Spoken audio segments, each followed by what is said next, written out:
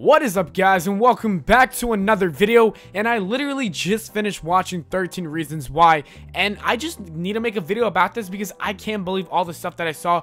I have so many conspiracy theories that I want to say so therefore I'm making this video of 5 conspiracy theories you need to know about 13 Reasons Why and before we start the video let me just inform you there will be spoilers obviously. Anyways, let's get straight on the list with number 5 Tyler killed Alex. Principal Bolan walked into a room with Porter and he announced that Alex shot himself in the head and is in critical condition.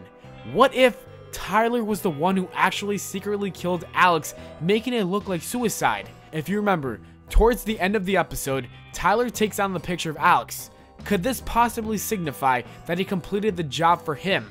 Number 4. Tyler took Alex off of his hit list. If Alex did indeed actually end up attempting suicide, then the other reason why he was removed from the hit list was because Tyler doesn't see him as a bully. As Tyler was removing the photo of Alex, he had a flashback. The flashback was showing how Tyler got help from Alex with the bully. The flashback doesn't show the part where Alex says, don't ever talk to me again, or something like that. Maybe Tyler took so much shit throughout high school that he doesn't even care about what he said afterwards. He is just happy that someone stood up for him for once. Number 3. Justin shot himself. One more theory involving that one ambulance scene is this one. If you actually zoom in really closely, you will notice that the victim in the ambulance has brown hair. This had led many people to believe that it was actually Justin who shot himself. Justin even admitted to nearly killing himself to Jessica in the last episode. Once Jessica said that she doesn't want to see him ever again, maybe that was it for him.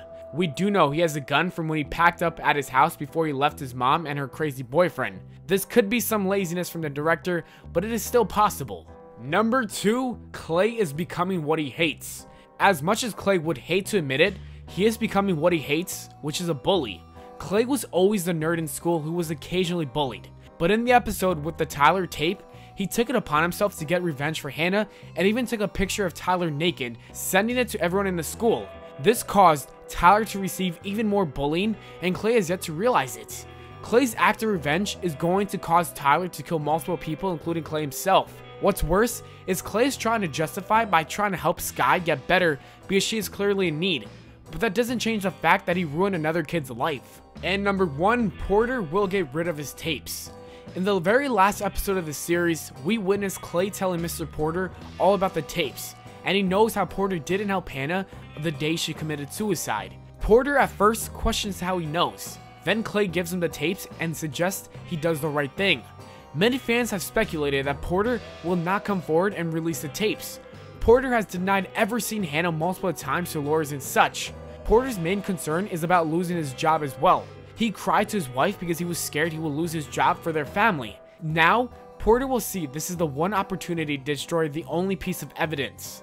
Little does he know that the Bakers actually have the files. As you can see, there are a lot of unanswered questions, and this is why I think it'll be great to see a season 2 for this show, because there's so much more story that needs unfolding. Let us know what you thought about these theories in the comments below. As always, thanks for watching. If you enjoyed, don't forget to leave a like and subscribe for more. Follow me on Twitter at Valonpllana, and I'll see you all later.